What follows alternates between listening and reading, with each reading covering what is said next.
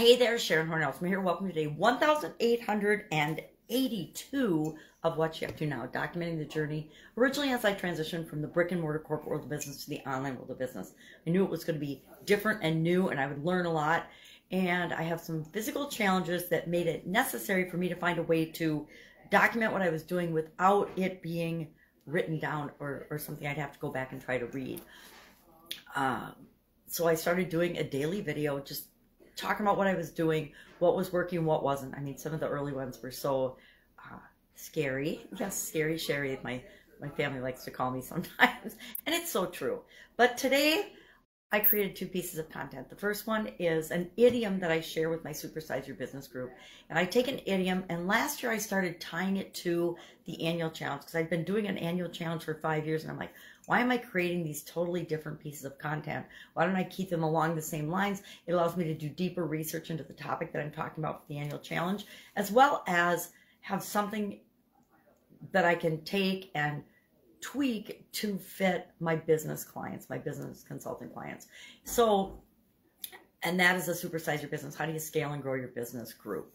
So I take the idiom and I find an idiom that coincides kind of with the topic that we're talking about for the annual challenge. This year's annual challenge is the Get Your Goals annual challenge. And this month we're focusing on the mental well-being, mental area and aspect of our life, our thinking, our mindset, our our uh, um, anything that has to do with thoughts, beliefs, and uh, today our topic was cultivating optimism. Talked about the benefits of being optimistic and ways to actually become more optimistic. Look on the bright side of things. And our idiom to coincide with that was don't cross the bridge until you come to it. And I shared a story about when I was first starting out in my businesses, I would lay awake at night doubting and worrying and fretting about things.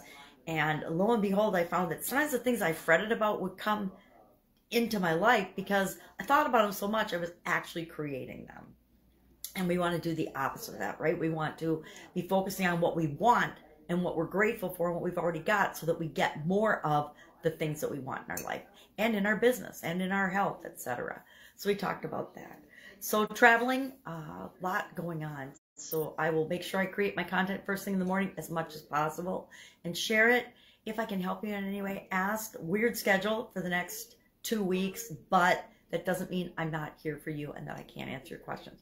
Always available. You can always, especially when I'm on the road, Voxer, there's a, a a phone app called Voxer. It's a walkie-talkie app. And the fastest, easiest way to get in touch with me is to go on Voxer on pajamagrandma at gmail.com, push the button, ask your question, clear and concise and direct. What do you really want to know? Not, don't give me a half an hour of a backstory. Say, this is the situation, this is my question. And the more direct you are, the better I can follow up and answer your question and get you what you need to keep you moving forward as much and as quickly as possible.